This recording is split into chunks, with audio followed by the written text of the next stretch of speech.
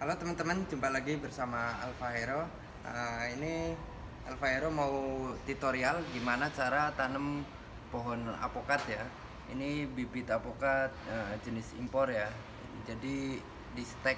Nah, ini saya mau tanam tutorial di pot drum ya, eh, menggunakan drum bekas. Nah, ini drum bekasnya udah dipotong. Terus media yang kita siapkan itu uh, kompos ya. Kompos ini dari mm, daun-daunan yang udah membusuk. Terus yang kedua ya kompos. Uh, ini dari kotoran ayam ya yang udah menjadi kompos. Terus tanah liat ya. Jadi ketiga media ini ntar disatukan ya biar tanahnya itu subur. Nah, terus kita tambahin juga biar uh, media itu dingin ya. Kita pakai kardus ya. Kardus bekas.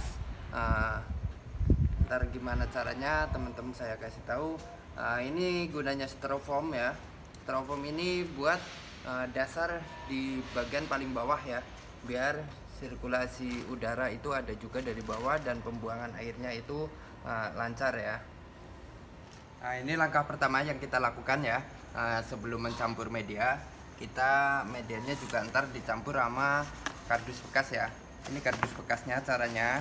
Teman-teman rendam dulu di air ya.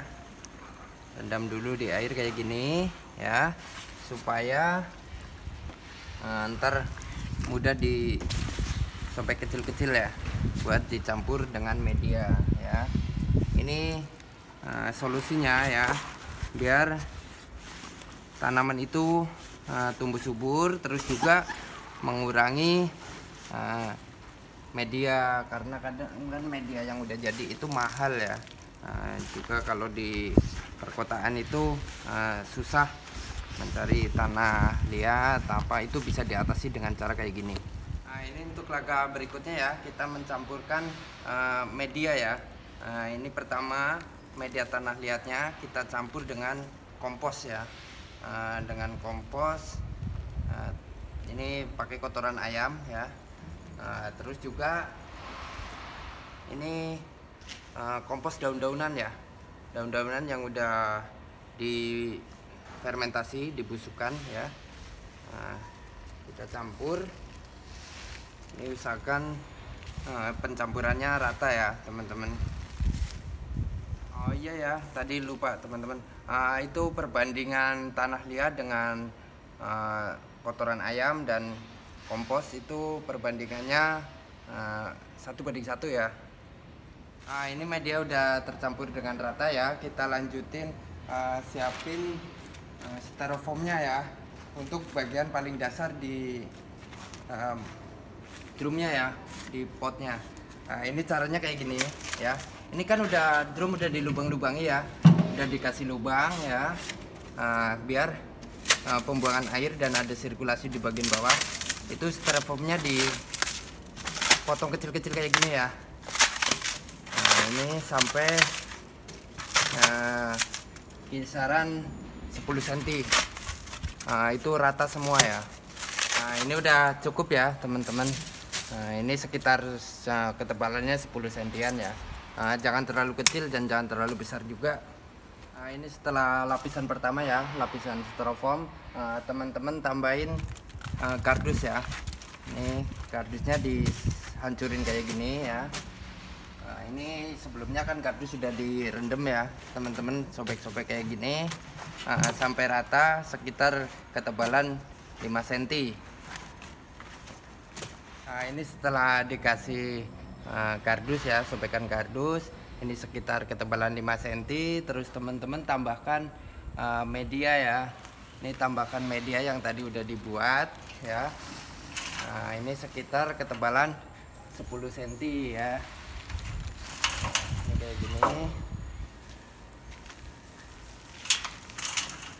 Nah ini setelah tadi tumpukan kardusnya ya.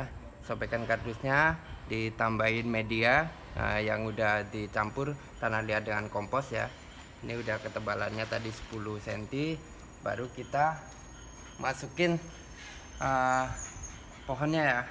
Ini pohon apokatnya ini kan udah masih ada pot kayak gini ya. Nah ini teman-teman buang ya biar pertumbuhannya itu lebih maksimal. Nah, ini polybagnya yang pakai jenis kain ya. Nah ini dibuang dilepas ya nah, ini usahakan sebelumnya mau dipindah itu jangan disiram dulu ya biar tetap kering nggak jadi medianya nggak hancur media utamanya. Nah ini polybagnya dilepas ya biar pertumbuhannya lebih maksimal. Ini diangkat kayak gini ya. Ini usahakan jangan sampai pecah itu makanya jangan disiram dulu biar nggak pecah jadi pohonnya tetap seger nggak layu nah ini kayak gini posisikan di tengah-tengah ya. Nah, misalkan posisikan di tengah-tengah terus baru teman-teman tambahin pinggirannya itu. Nah, sobekan kardus lagi yang tadi udah direndam dicampur dengan media. Nah, seterusnya ya sampai semua uh, media asli itu ter terendam atau terkubur ya. Nah ini kita kan tinggal nambahin samping-sampingnya ya teman-teman uh, tambahin juga sobekan kardus kayak gini ya. Itu secukupnya ya muter. Nah, kira-kira uh, ya setebel 5 cm muter. Terus ditambahin campuran media yang tadi kita buat ya. Nah ini udah semua rata ya dikasih kardus sekitar tebal 5 cm lagi. Nah teman-teman tambahkan media lagi ya di atasnya kayak gini. Nah, ini. Nah, semuanya diratakan ya. Nah, ini setelah gardus tertimbun uh, media tanah liat dan kompos ya teman-teman tambahin lagi kalau masih kurang ini kan belum rata ya. Uh, media asli belum tertimbun jadi kita tambahin lagi uh, sobekan gardus lagi sekitar ketebalan 5 cm ya diratakan juga ntar ditimbun lagi dengan media yang udah dicampur dengan kompos ya tanah liat yang dicampur dengan kompos. Nah ini tinggal tahapan terakhir terakhir ya.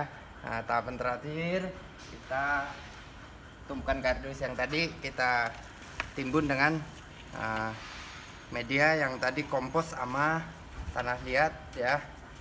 Ini tahapan terakhirnya. Kita tutup sampai rata dengan pot ya sisain Eh, sekitar 2 cm atau 3 cm ya biar uh, penyiraman itu airnya enggak tercacar keluar. Nah ini semua ditutup kayak gini ya. Nah ini selesai ya. Nah ini ratakan semua. Nah ini ya teman-teman cara menanam uh, buah-buahan ya pohon buah-buahan. Nah ini saya buah apokat gimana caranya menanam di pot biar medianya juga irit uh, tanamannya tetap subur ya. Ntar bisa produksi buahnya itu lebih banyak. Nah ini caranya kayak gini sangat mudah dan simple. Teman-teman pun bisa bikin sendiri nggak perlu eh, beli-beli uh, kompos yang udah jadi ya. Nah ini udah sangat mudah. Nah teman-teman bisa tiru di rumah cara ini ya. Nah ini sangat bermanfaat bisa manfaatin halaman uh, halaman sisa rumah ya. Ini difungsikan kayak gini. Uh, selain buat keindahan juga bisa dipetik hasil buahnya ya teman-teman. Terima kasih ya teman-teman sudah menonton video ini sampai selesai. Semoga bermanfaat bagi teman-teman semua ya. Assalamualaikum. Bye bye